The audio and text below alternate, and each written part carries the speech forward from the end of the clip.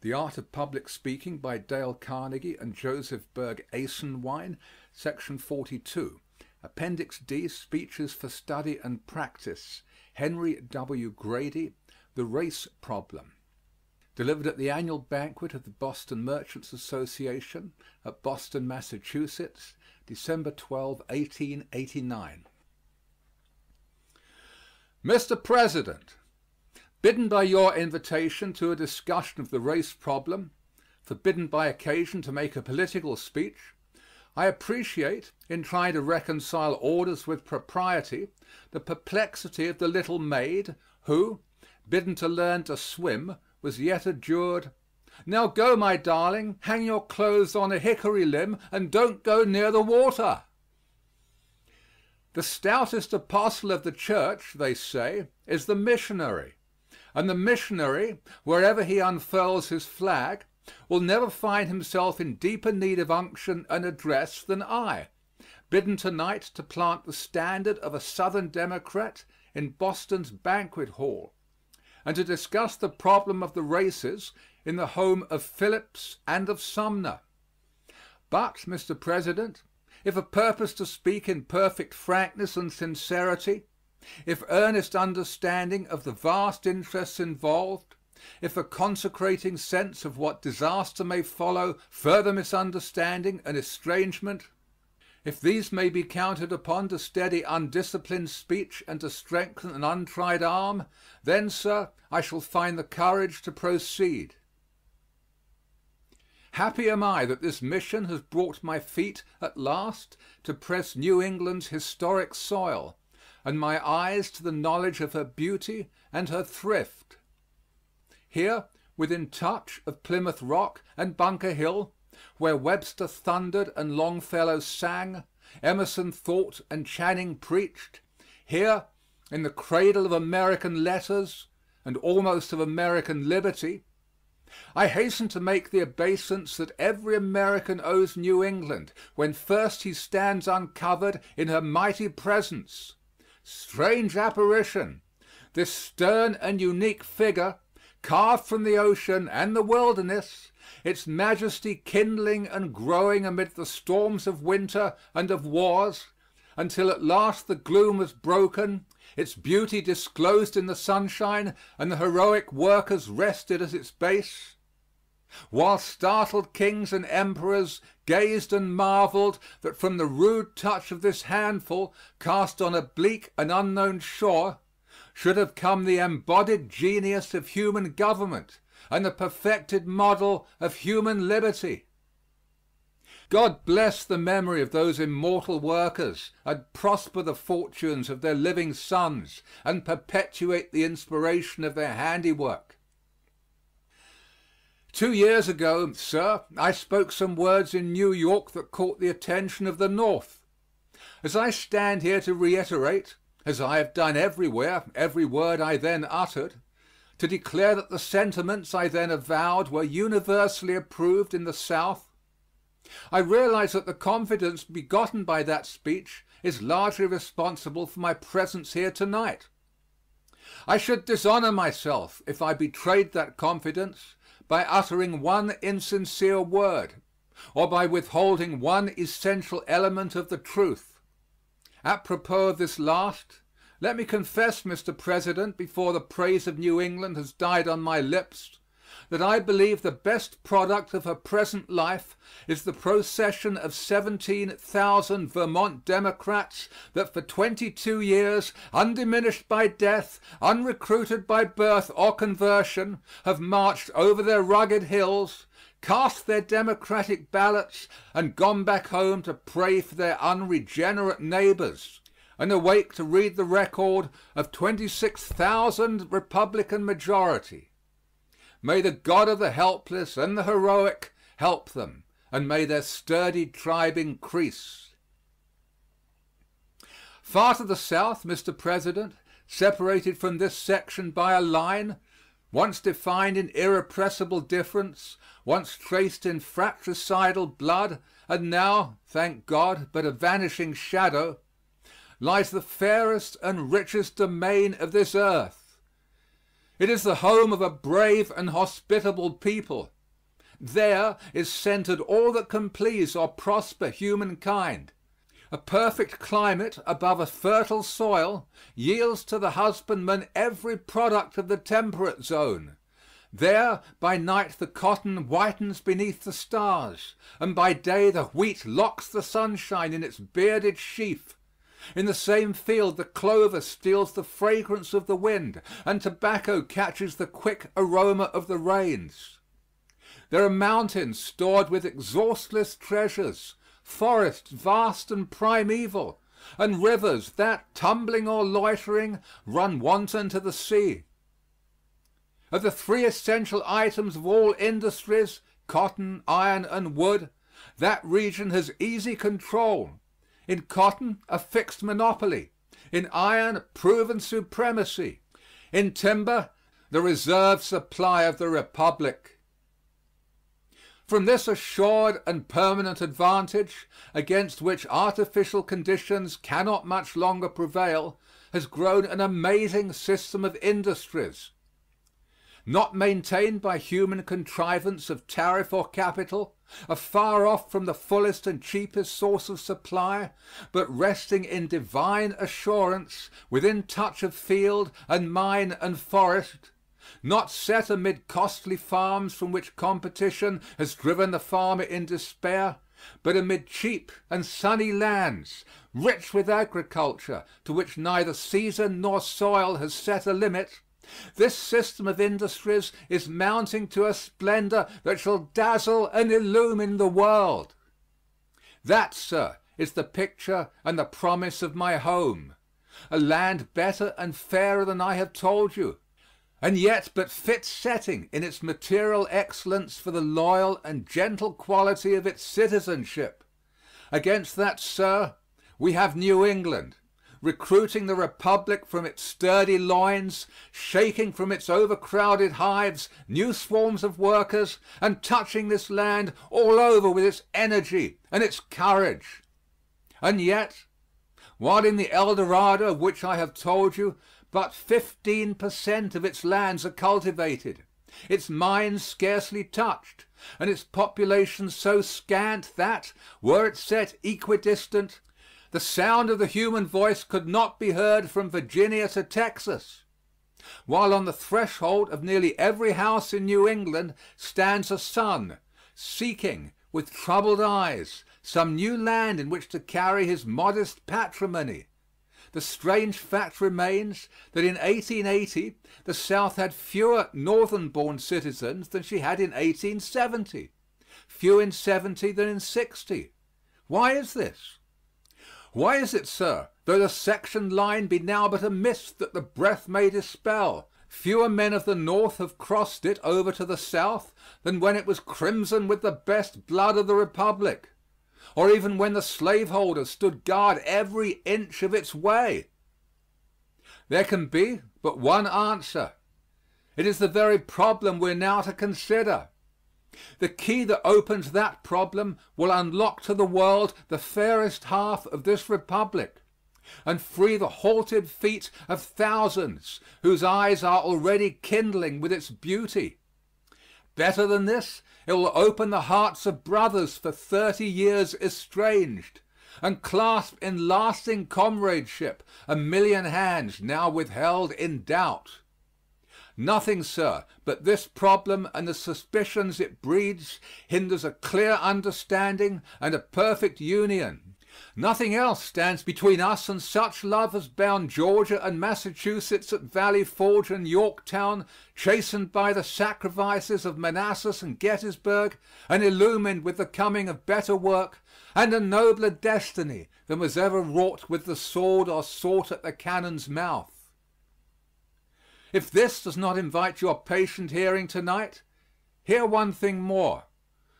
My people, your brothers in the South, brothers in blood, in destiny, in all that is best in our past and future, are so beset with this problem that their very existence depends on its right solution. Nor are they wholly to blame for its presence. The slave ships of the Republic sailed from your ports; the slaves worked in our fields. You will not defend the traffic, nor I the institution. But I do here declare that in its wise and humane administration in lifting the slave to heights of which he has not dreamed in his savage home, and giving him a happiness he has not yet found in freedom, our fathers left their sons a saving and excellent heritage. In the storm of war this institution was lost. I thank God as heartily as you do that human slavery is gone forever from American soil but the freedman remains with him a problem without precedent or parallel. Note its appalling conditions. Two utterly dissimilar races on the same soil, with equal political and civil rights, almost equal in numbers, but terribly unequal in intelligence and responsibility. Each pledged against fusion, one for a century in servitude to the other, and freed at last by a desolating war, the experiment sought by neither but approached by both with doubt these are the conditions. Under these, adverse at every point, we are required to carry these two races in peace and honor to the end. Never, sir, has such a task been given to mortal stewardship. Never before in this Republic has the white race divided on the rights of an alien race. The red man was cut down as a weed because he hindered the way of the American citizen. The yellow man was shut out of this Republic because he is an alien and inferior. The red man was owner of the land. The yellow man was highly civilized and assimilable. But they hindered both sections and are gone. But the black man, affecting but one section, is clothed with every privilege of government and pinned to the soil, and my people commanded to make good at any hazard and at any cost his full and equal heirship of American privilege and prosperity. It matters not that every other race has been routed or excluded without rhyme or reason. It matters not that wherever the whites and the blacks have touched, in any era or in any clime, there has been an irreconcilable violence. It matters not that no two races, however similar, have lived anywhere, at any time, on the same soil, with equal rights, in peace. In spite of these things, we are commanded to make good this change of American policy which has not perhaps changed American prejudice to make certain here what has elsewhere been impossible between whites and blacks, and to reverse, under the very worst conditions, the universal verdict of racial history and driven, sir, to this superhuman task with an impatience that brooks no delay, a rigor that accepts no excuse, and a suspicion that discourages frankness and sincerity. We do not shrink from this trial. It is so interwoven with our industrial fabric that we cannot disentangle it if we would so bound up in our honorable obligation to the world that we would not if we could. Can we solve it? The God who gave it into our hands, he alone can know. But this the weakest and wisest of us do know. We cannot solve it with less than your tolerant and patient sympathy, with less than the knowledge that the blood that runs in your veins is our blood, and that, when we have done our best, whether the issue be lost or won, we shall feel your strong arms about us and hear the beating of your approving hearts.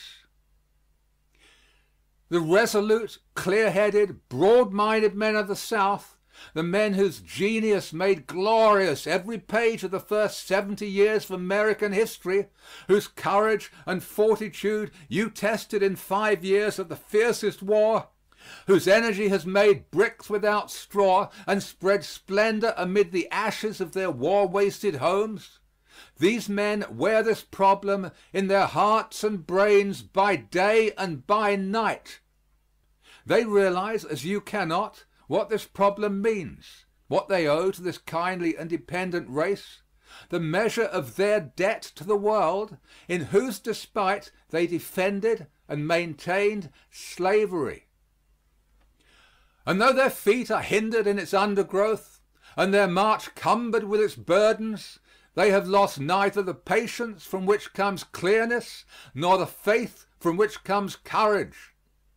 Nor, sir, when in passionate moments is disclosed to them that vague and awful shadow, with its lurid abysses and its crimson stains, into which I pray God they may never go, are they struck with more of apprehension than is needed to complete their consecration. Such is the temper of my people. But what of the problem itself? Mr. President, we need not go one step further unless you concede right here that the people I speak for are as honest, as sensible, and as just as your people seeking as earnestly as you would in their place to rightly solve the problem that touches them at every vital point. If you insist that they are ruffians, blindly striving with bludgeon and shotgun to plunder and oppress a race, then I shall sacrifice my self respect and tax your patience in vain. But admit that they are men of common sense and common honesty wisely modifying an environment they cannot wholly disregard, guiding and controlling as best they can the vicious and irresponsible of either race, compensating error with frankness and retrieving in patience what they lost in passion, and conscious all the time that wrong means ruin? Admit this, and we may reach an understanding tonight. The President of the United States, in his late message to Congress discussing the plea that the South should be left to solve this problem, asks, Are they at work upon it? What solution do they offer? When will the black man cast a free ballot? When will he have the civil rights that are his? I shall not here protest against a partisanry that, for the first time in our history, in time of peace, has stamped with the great seal of our government a stigma upon the people of a great and loyal section. Though I gratefully remember that the great dead soldier who held the helm of state for the eight stormiest years of Reconstruction never found need for such a step and though there is no personal sacrifice I would not make to remove this cruel and unjust imputation on my people from the archives of my country. But, sir, backed by a record on every page of which is progress, I venture to make earnest and respectful answer to the questions that are asked. We give to the world this year a crop of 7,500,000 bales of cotton, worth $450 million, and its cash equivalent in grain, grasses, and fruit. This enormous crop could not have come from the hands of sullen and discontented labor. It comes from peaceful fields in which laughter and gossip rise above the hum of industry, and contentment runs with the singing plow. It is claimed that this ignorant labor is defrauded of its just hire. I present the tax books of Georgia, which show that the negro twenty five years ago a slave has in Georgia alone ten million dollars of assessed property, worth twice that much. Does not that record honor him and vindicate his neighbors? What people penniless, illiterate, has done so well? For every Afro American agitator stirring the strife in which alone he prospers, I can show you a thousand negroes happy in their cabin homes, tilling their own land by day, and at night taking from the lips of their children the helpful message their state sends them from the schoolhouse door. And the schoolhouse itself bears testimony. In Georgia we added last year $250,000 to the school fund, making a total of more than $1 million. And this in the face of prejudice not yet conquered, of the fact that the whites are assessed for $368 million, the blacks for $10 million, and yet 49% of the beneficiaries are black children and in the doubt of many wise men if education helps or can help our problem. Charleston, with her taxable values cut half in two since 1860, pays more in proportion for public schools than Boston, although it is easier to give much out of much than little out of little. The South, with one seventh of the taxable property of the country, with relatively larger debt, having received only one twelfth as much of public lands, and having back of its tax books none of the five hundred million dollars of bonds that enrich the North, and though it pays annually twenty six million dollars to your section as pensions, yet gives nearly one sixth to the public school fund. The South since 1865 has spent $122 million in education, and this year is pledged to spend $32 million more for state and city schools although the blacks, paying one thirtieth of the taxes, get nearly one half of the fund. Go into our fields and see whites and blacks working side by side, on our buildings in the same squad, in our shops at the same forge. Often the blacks crowd the whites from work, or lower wages by their greater need and simpler habits, and yet are permitted because we want to bar them from no avenue in which their feet are fitted to tread. They could not there be elected orators of white universities, as they have been here, but they do enter there a hundred useful trades that are closed against them here.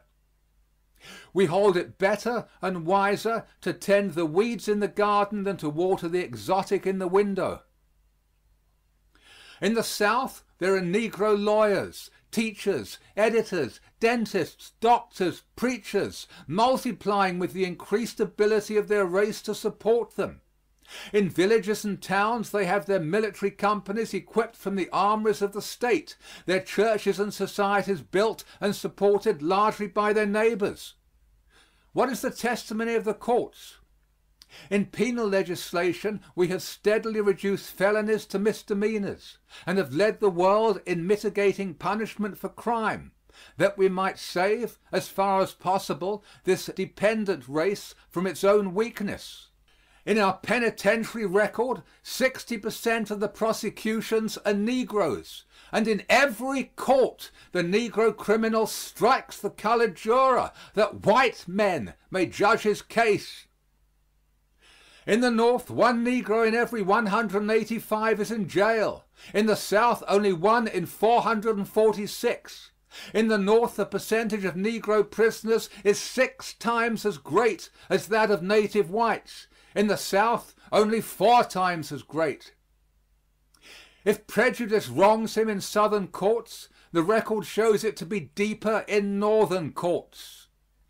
I assert here and a bar as intelligent and upright as the bar of Massachusetts will solemnly endorse my assertion that in the Southern courts, from highest to lowest, pleading for life, liberty, or property, the negro has distinct advantage because he is a negro, apt to be overreached, oppressed, and that this advantage reaches from the juror in making his verdict to the judge in measuring his sentence.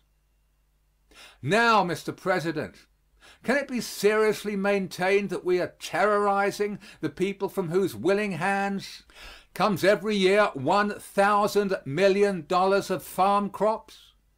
Or have robbed a people who, twenty five years from unrewarded slavery, have amassed in one state twenty million dollars of property? Or that we intend to oppress the people we are arming every day? Or deceive them when we are educating them to the utmost limit of our ability?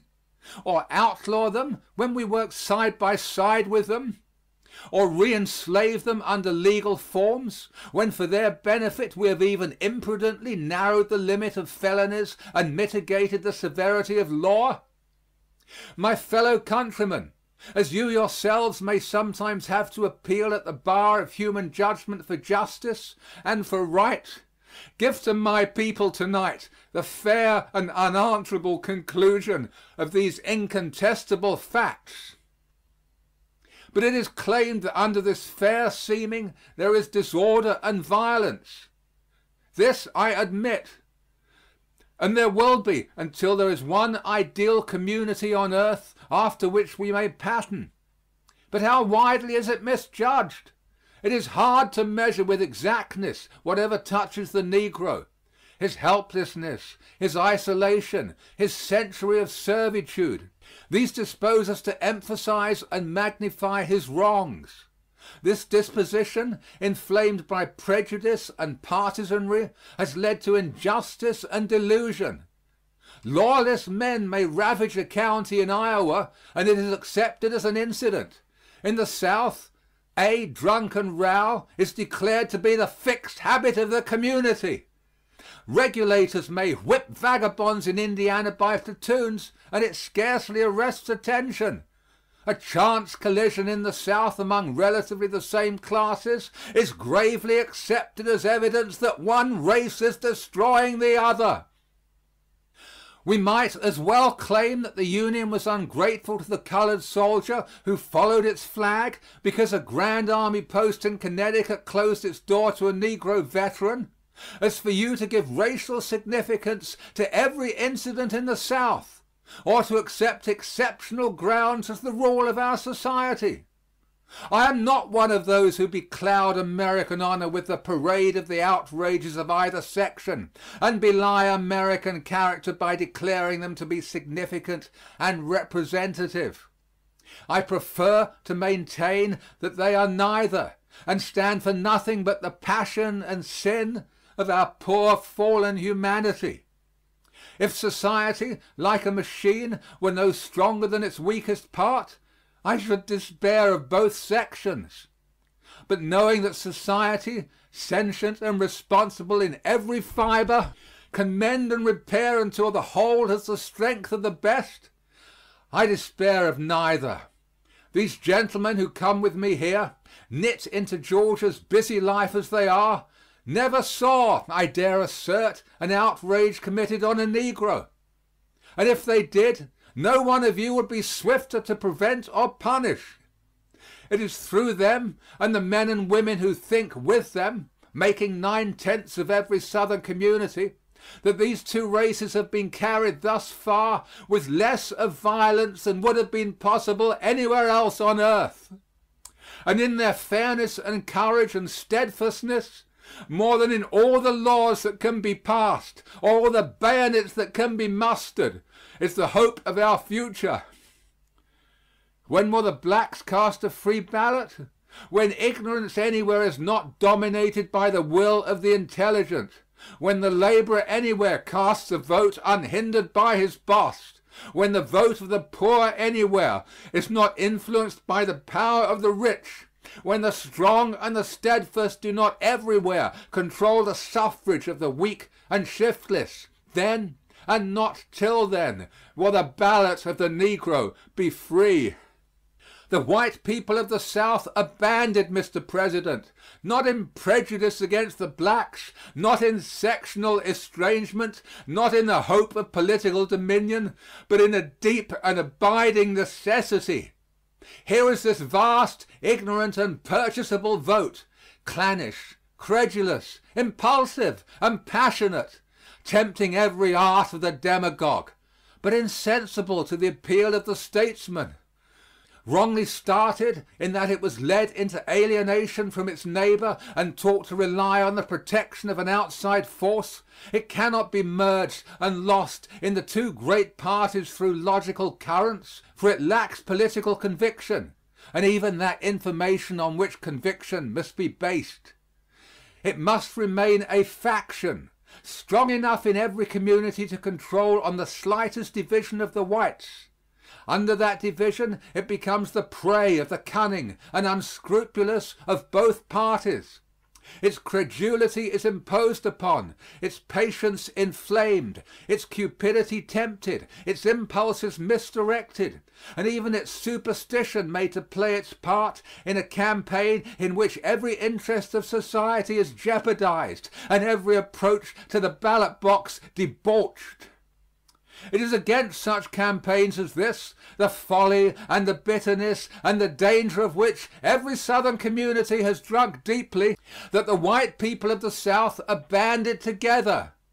just as you in Massachusetts would be banded if three hundred thousand men, not one in a hundred able to read his ballot, banded in race instinct, holding against you the memory of a century of slavery, taught by your late conquerors to distrust and oppose you, had already travestied legislation from your State House, and in every species of folly or villainy had wasted your substance and exhausted your credit.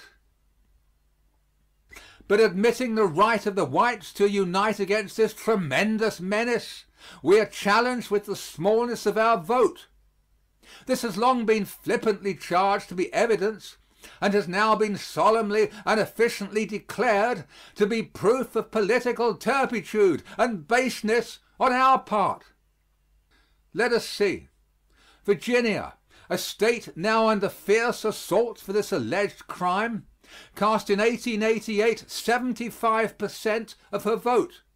Massachusetts, the State in which I speak, 60 per cent of her vote.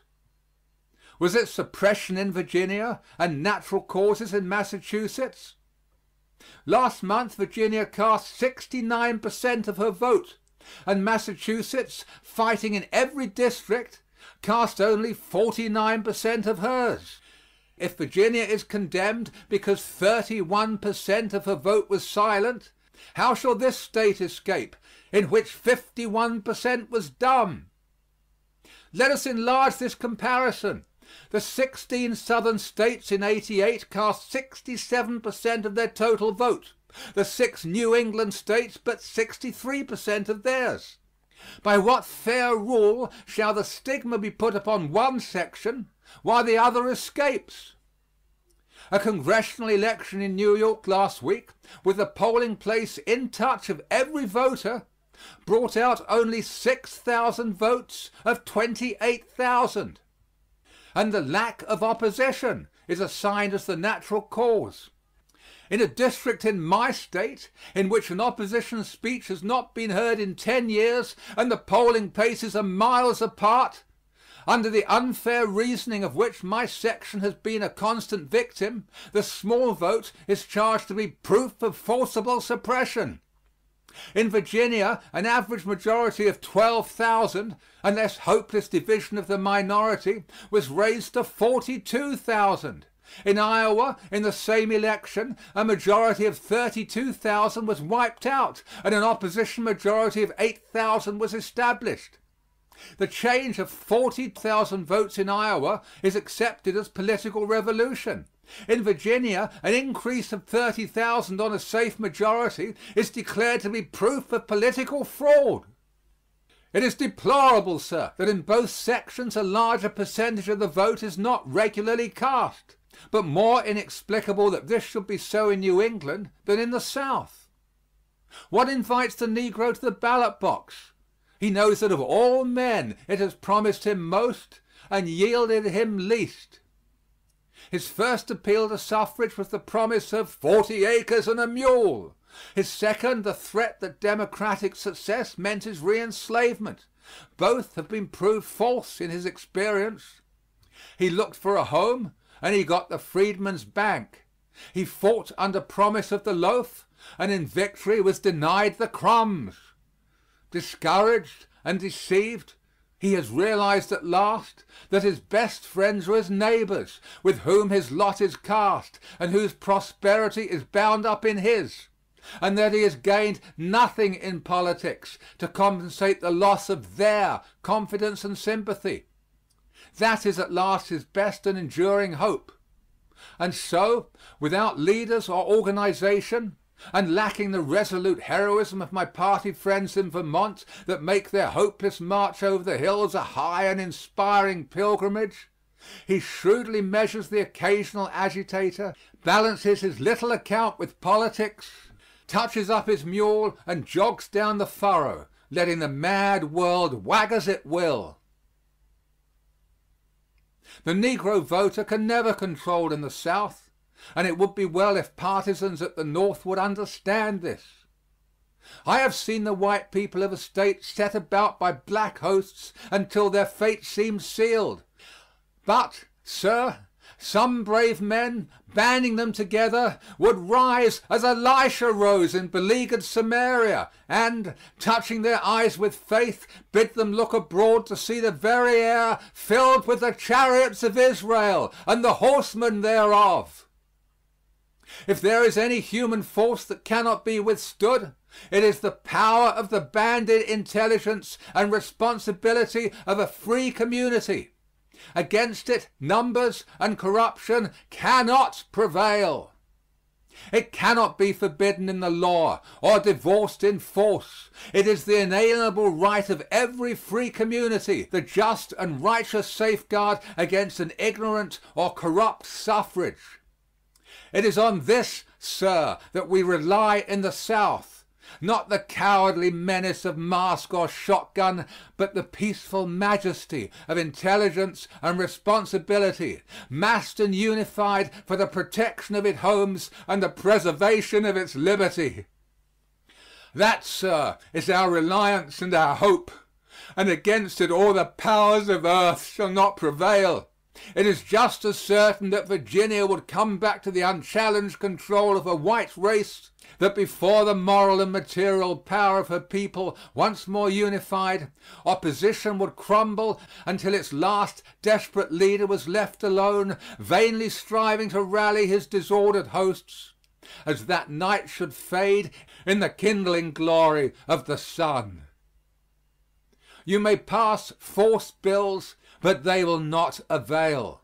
You may surrender your own liberties to Federal election law, you may submit in fear of a necessity that does not exist that the very form of this government may be changed. You may invite Federal interference with the New England town meeting that has been for a hundred years the guarantee of local government in America. This old State, which holds in its charter the boast that it is a free and independent commonwealth, may deliver its election machinery into the hands of the government it helped to create but never, sir, will a single State of this Union, North or South, be delivered again to the control of an ignorant and inferior race.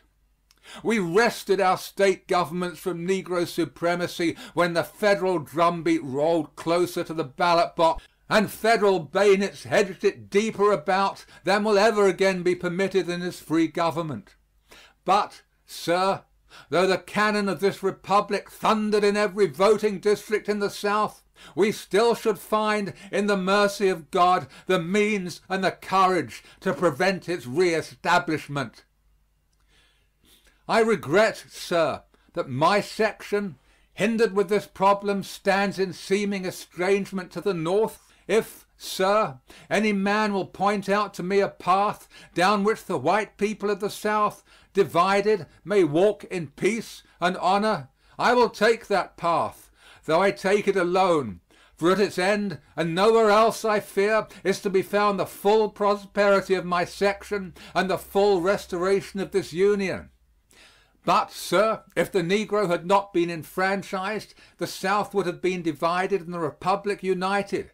His enfranchisement, against which I enter no protest, holds the South united and compact. What solution then can we offer for the problem? Time alone can disclose it to us. We simply report progress and ask your patience. If the problem be solved at all, and I firmly believe it will, though nowhere else has it been, it will be solved by the people most deeply bound in interest, most deeply pledged in honor to its solution. I had rather see my people render back this question rightly solved than to see them gather all the spoils over which faction has contended since Catiline conspired and Caesar fought. Meantime we treat the negro fairly measuring to him justice in the fullness the strong should give to the weak, and leading him in the steadfast ways of citizenship, that he may no longer be the prey of the unscrupulous and the sport of the thoughtless. We open to him every pursuit in which he can prosper, and seek to broaden his training and capacity. We seek to hold his confidence and friendship, and to pin him to the soil with ownership, that he may catch in the fire of his own hearthstone that sense of responsibility the shiftless can never know and we gather him into that alliance of intelligence and responsibility that, though it now runs close to racial lines, welcomes the responsible and intelligent of any race. By this course, confirmed in our judgment and justified in the progress already made, we hope to progress slowly but surely to the end. The love we feel for that race you cannot measure nor comprehend. As I attested here, the spirit of my old black mammy from her home up there looks down to bless, and through the tumult of this night steals the sweet music of her croonings as thirty years ago she held me in her black arms and led me smiling to sleep. This scene vanishes as I speak and I catch a vision of an old Southern home with its lofty pillars and its white pigeons fluttering down through the golden air. I see women with strained and anxious faces and children alert yet helpless. I see night come down with its dangers and its apprehensions, and in a big, homely room I feel on my tired head the touch of loving hands now worn and wrinkled, but fairer to me yet than the hands of mortal woman, and stronger yet to lead me than the hands of mortal man, as they lay a mother's blessing there, while at her knees the truest altar I yet have found, I thank God that she is safe in her sanctuary, because her slaves, sentinel in the silent cabin or guard at her chamber door, put a black man's loyalty between her and danger. I catch another vision the crisis of battle, a soldier struck, staggering, fallen.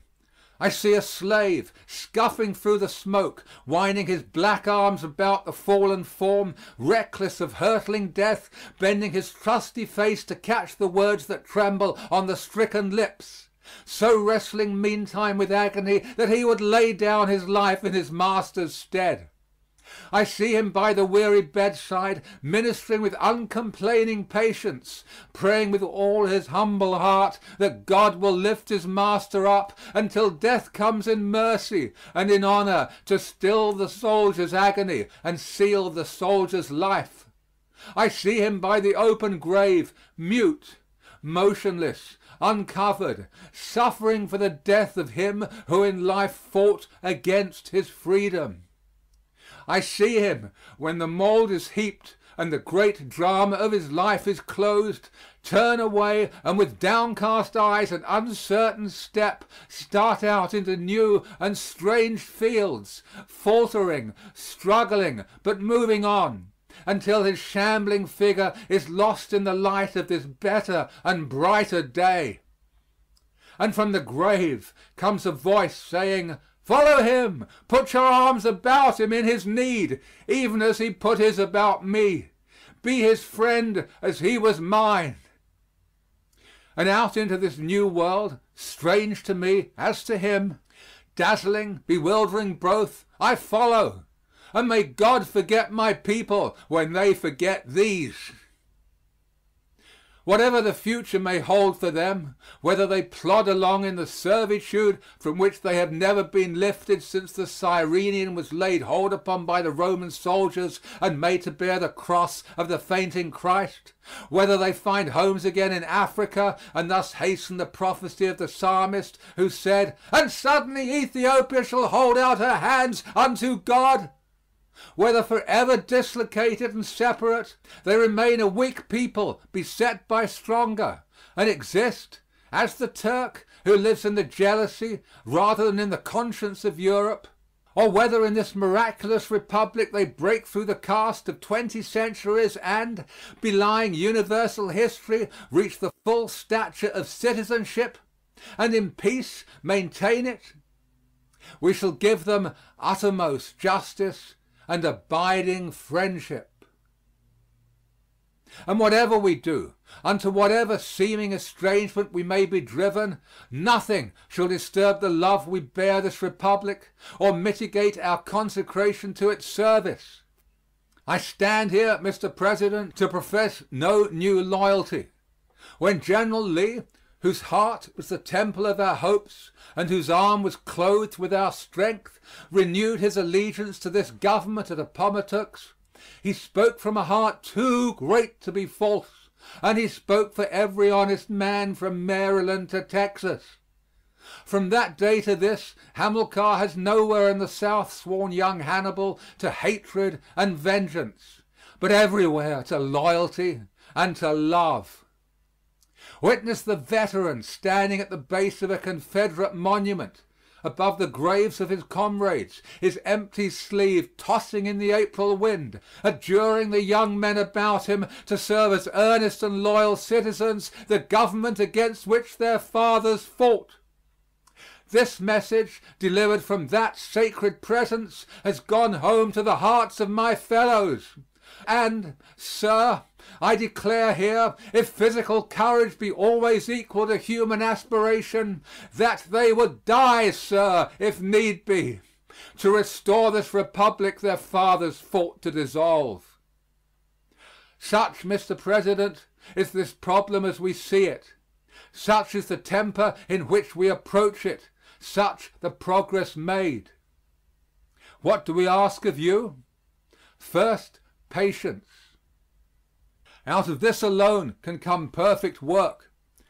Second, confidence. In this alone can you judge fairly.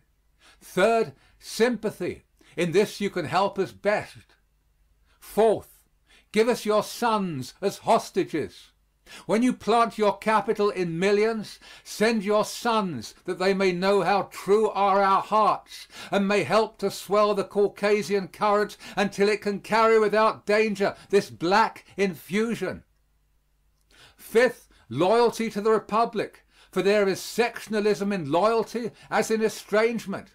This hour little needs the loyalty that is loyal to one section and yet holds the other in enduring suspicion and estrangement. Give us the broad and perfect loyalty that loves and trusts Georgia alike with Massachusetts, that knows no South, no North, no East, no West, but endears with equal and patriotic love every foot of our soil, every state of our Union a mighty duty, sir, and a mighty inspiration impels every one of us tonight to lose in patriotic consecration whatever estranges, whatever divides. We, sir, are Americans, and we stand for human liberty. The uplifting force of the American idea is under every throne on earth. France, Brazil, these are our victories to redeem the earth from kingcraft and oppression. This is our mission, and we shall not fail. God has sown in our soil the seed of his millennial harvest, and he will not lay the sickle to the ripening crop until his full and perfect day has come. Our history, sir, has been a constant and expanding miracle. From Plymouth Rock and Jamestown all the way, aye, even from the hour when from the voiceless and traceless ocean a new world rose to the sight of the inspired sailor as we approach the fourth centennial of that stupendous day when the old world will come to marvel and to learn amid our gathered treasures, let us resolve to crown the miracles of our past with the spectacle of a republic. Compact, united, indissoluble in the bonds of love, loving from the lakes to the gulf, the wounds of war healed in every heart as on every hill, serene and resplendent at the summit of human achievement and earthly glory, blazing out the path and making clear the way up which all the nations of the earth must come in God's appointed time. End of section 42. Recording by Paul Adams.